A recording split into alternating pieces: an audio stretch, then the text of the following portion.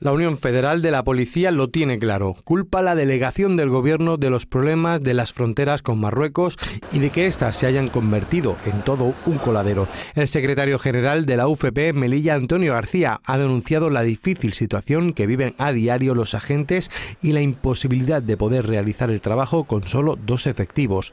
Sin ir más lejos, el sindicato denunciaba ayer mediante su cuenta de Twitter que la frontera de Farjana solo contaba con un policía para cubrir el servicio, lugar donde ayer, según la mencionada cuenta del sindicato, se produjo a las siete y media de la tarde una avalancha de menores. Yo tengo reuniones trimestrales con mi jefe superior, con el, comisario segundo, y yo muchas veces en, esas reuniones hablamos, eh, eh, en fin, eh, vemos la problemática y yo sé que están atados este problema es un problema de delegación de gobierno.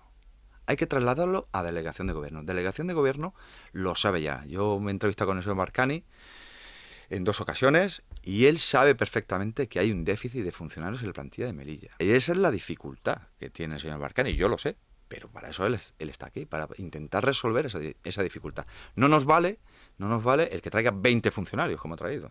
Traer a 20 agentes de refuerzo, como ha hecho la delegación del gobierno, no llega, ha dicho el secretario general de la UFP, ni a ser un parche. Los propios agentes han mostrado su desesperación denunciando esta situación mediante las redes sociales. En estas denuncias muestran fotos de cómo los menores se agolpan junto a la frontera para aprovechar el descuido de los agentes y poder entrar en Melilla.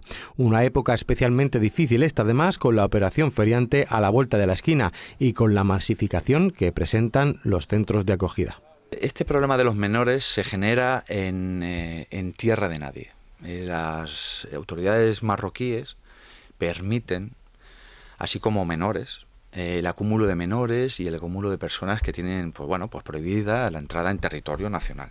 Toda esa gente, incluidos esos menores, deben de retirarse de esa zona. ¿Por qué? Porque nada más que se dedican a observar. Observan a los funcionarios se acercan a la valla, observan a nuestros funcionarios y ven el descuido para introducirse en nuestra ciudad.